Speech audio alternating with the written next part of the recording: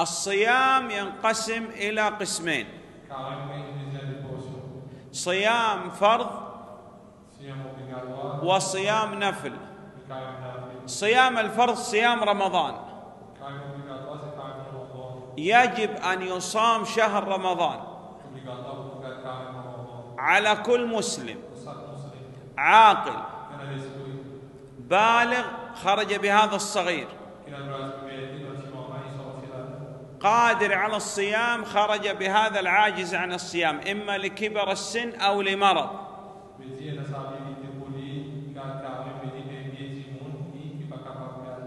مستوطن غير مسافر. وتزيد المرأة بأن تخلو من الحيض والنفاس لا يكون عندها لا حيض ولا نفاس Levando se وعندنا صيام نافلة مثل صيام يوم الاثنين والخميس من كل أسبوع.